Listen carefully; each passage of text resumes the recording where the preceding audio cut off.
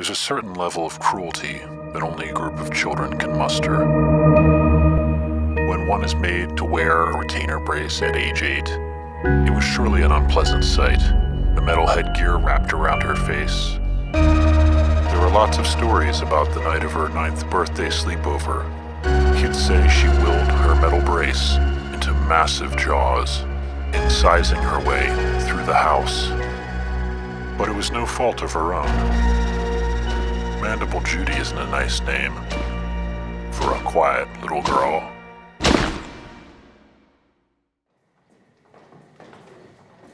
Yes, I'm sorry, sir, but I can't allow you in with those rocks. It's hospital policy. He just wanted to cheer up our daughter. They're from her collection at home. Judy's rocks. I'm sorry. If you want to leave them here behind the desk, I'll make sure nothing happens to them while you're visiting. I see. Bo, darling, we have to leave the rocks here for now. But Judy need needs her rocks. Yes, Bo, we can ask Judy if she wants to see her rocks, and maybe the doctor will allow it. But first, we have to leave them here. Uh, uh, Thank you, Mr. Kaderbeck. We'll see what the doctor says. and you can listen to the rocks. I'll take care of them until you get back.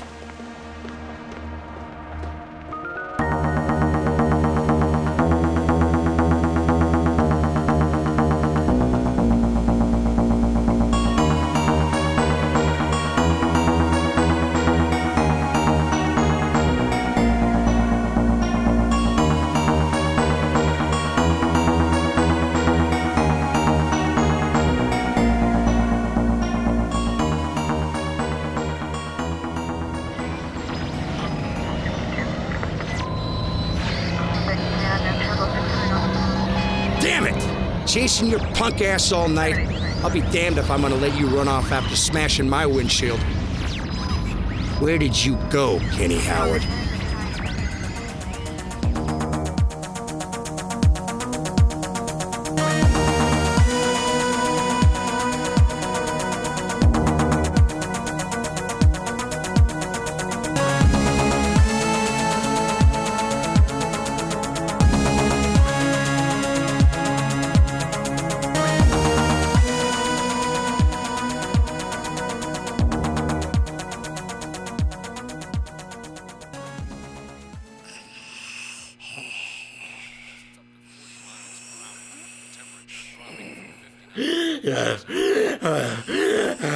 You know, you are one messed up kid. Did your dad marry a deep sea fish or something? I guess if I looked like that, I might go a little off the deep end too. But now you can't hurt anyone. Hopefully for a long time.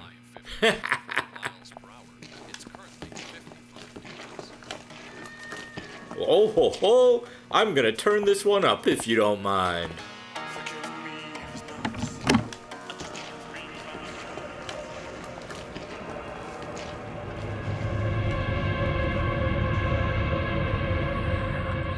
Oh, he doesn't know, Judy. He doesn't know what you could do to him if you wanted. One day. But Mommy and Daddy are here to see you now, Judy. They're coming down the hall.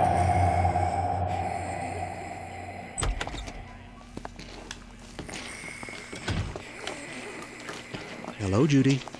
Crandall, will you take the radio with you, please? Thank you. Sweetheart! What are you wearing? My little girl. Judy's wearing a camisole for her own protection. Things go well, we'll be able to take it off soon. Judy, say hello to your mom and dad. Mommy, Daddy. Oh, my Judy. Let me hold you, sweetheart. We missed you so much. Mommy, stay. We're going to get you all better, Judy. Take you home. Well, you may have to stay here for a little while, Judy. We have to make sure you're all better. And the police have to rule out her involvement in the events. You understand. How do you think she could have done that? Look at her. She's a child, Doctor. A child! Yes, I'm sorry, I really am, but we have to cooperate with law enforcement. The police are still investigating and. Mother, we will leave here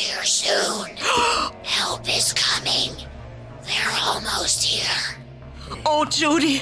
Mommy, I want my Okay, now, Judy, calm down. Crandall! my rocks. I'm sorry, but it appears like now is not the best time to see your daughter. Rock. Oh my god! Crandall! Rock collection. Okay, oh. folks, we need you to come out of the room.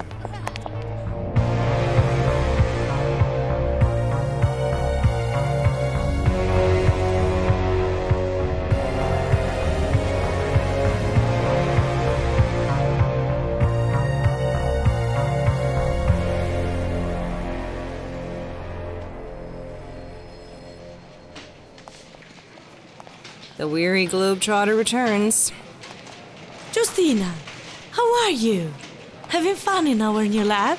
Well, if you consider amphibian dissection fun. Ah, just like old times then. Our postdoc studies in Rome. Hmm. I didn't like slimy things then, and I like them less now. I'm glad to see you haven't changed. I missed you. Thanks for sending the tapes. I think you'll be intrigued by the results so far. Fantastico. Okay, so, uh, where can I leave my equipment? We'll go right to the lab. But first, uh, I want you to meet. Dr. Schifano, how nice to finally meet. Doctor. Meet Magnus Becker. Mr. Becker, it's a great pleasure. Your corporate headquarters is very impressive. More like a small city, I think. Yes, we're still growing into it after five years. I hope you both find it a fitting place for the bold, groundbreaking work you're accustomed to doing. And you brought your electronic instruments. I'm fascinated. Why why don't you go get settled in the lab and we'll all talk over our plans in an hour? Sounds fine to me. Tina, can you show Dr. Schifano to the lab? Uh, Dr. Nobili, there's someone I need you to meet in my office. Until later, Doctor.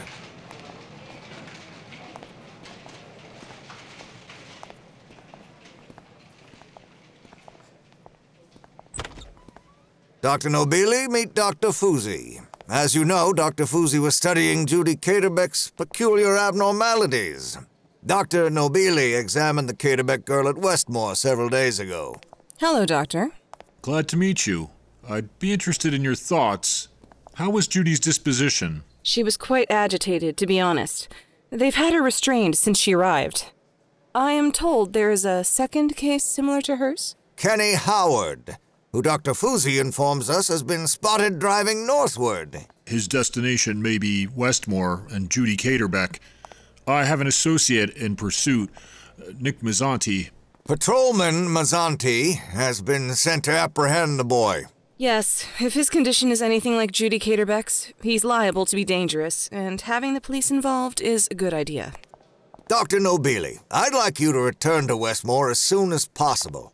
My private helicopter should get you there in time to intercept Mr. Howard and assist the police in returning him here for observation. Won't they want to take him to a hospital? The officer in charge has an interest in delivering him here. You'd better bring along a sedative. We'll get word to Mazzanti that he should follow your instructions. Mr. Becker, I'm not sure this is the best use of my time. I should be here acclimating Dr. Schifano to the procedures and. This is what I need you to do, Dr. Nobili. This is the priority. Very well. I'll go get ready. Well, I've never ridden in a helicopter before.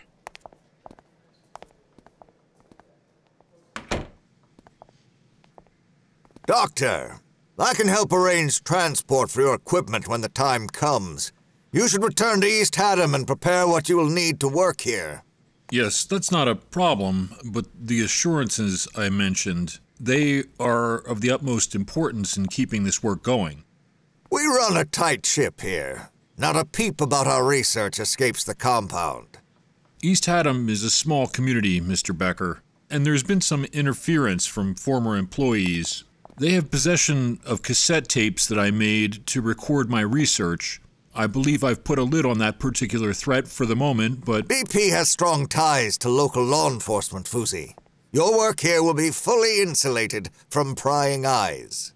that is the assurance I needed to hear. Why on earth would you make a physical recording of your notes? I'm a very slow typist.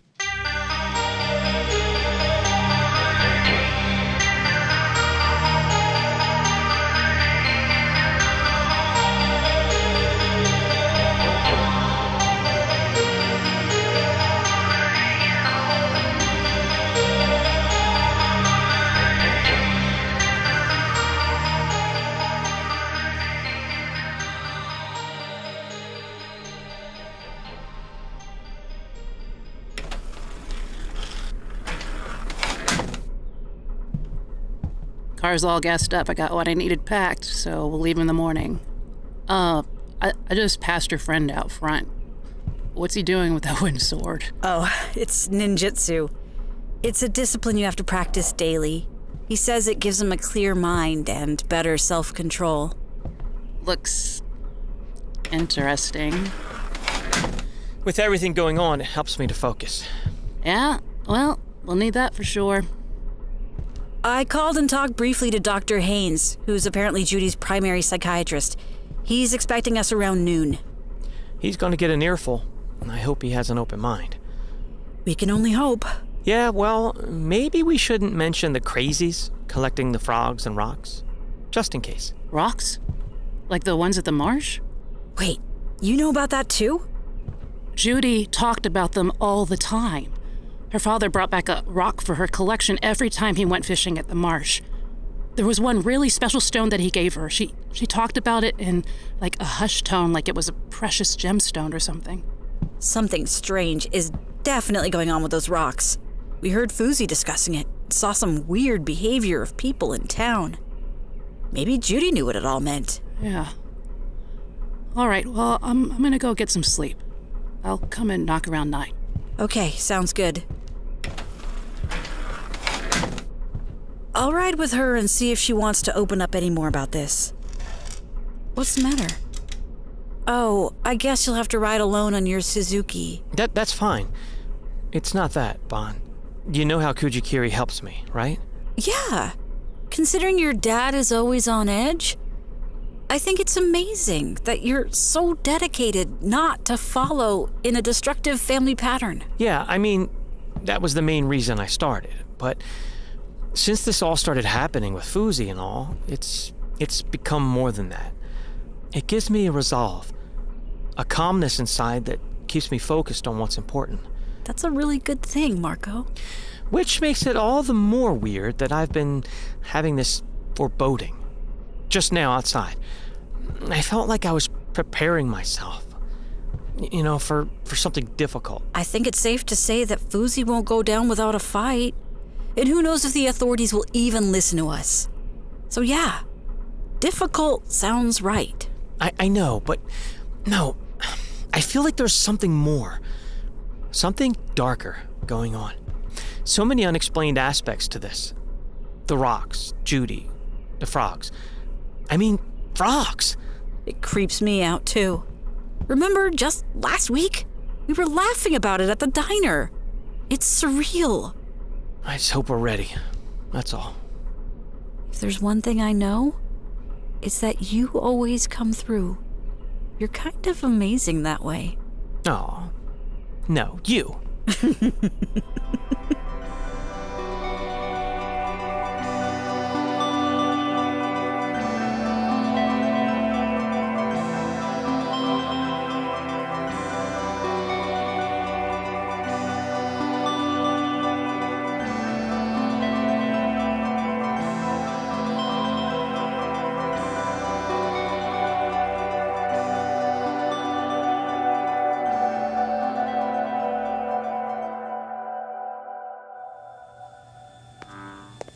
Hello, my friends.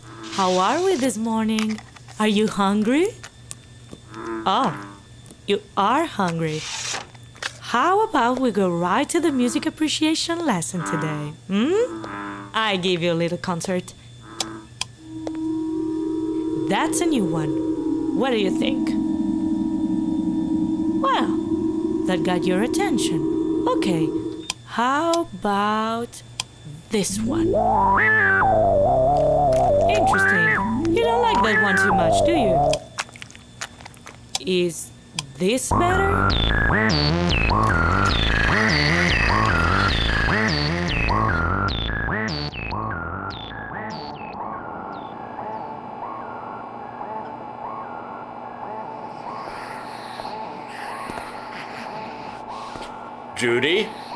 There's nothing over there. What are you looking at? Look, I just need to make sure you eat your breakfast, and then I'll leave you alone to do whatever you're doing. Hello? Anybody home? You want this or not? I've got others to feed that actually.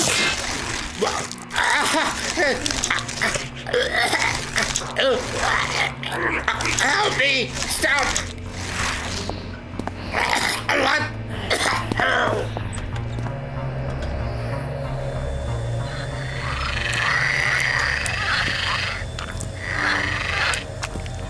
No, no, no, no. Oh my god. No! Stop that!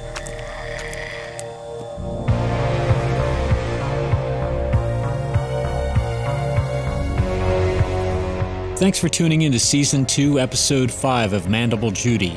Our cast this week was Dominique Jean, Nancy Graham, Chris Burke, Ty Jones, Tamara Yadao, Erin Lillis, David Steele, Bonnie Bogovich, Julian Nervi, Graham Rowett, and many thanks to our special guests Richard Haines as Dr. Haines, Lee Eddy as Catherine, and Mark Torgl as Crandall. Follow Mandible Judy on Instagram, Facebook, and Twitter. We rely on support from our listeners, so please help us keep the series going at patreon.com slash mandiblejudy.